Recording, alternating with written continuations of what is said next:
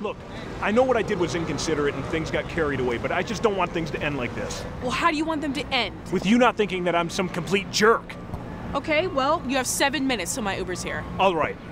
I will admit that I'm not the most experienced at that. Oh, really? You think? I mean, I like you. I figured that that would have been enough. Okay. Live in the moment. Huh?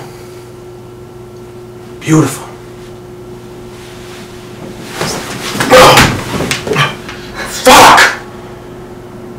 You freaking bitch!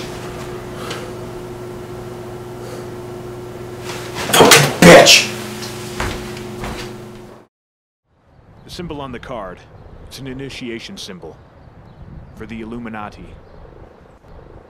The Illuminati. Yes. And you're sure about this? As positive as I can be, yes. Your job was to only. Right. Anyway, I happen to know everyone in town. I work with some of the biggest names like Ice Tea? Vanilla? Cream. Who is that? He's like one of the hottest rappers out right now. He's got his own series called Ice Creams Hose. Oh, wow. That's an Emmy Award winner right there.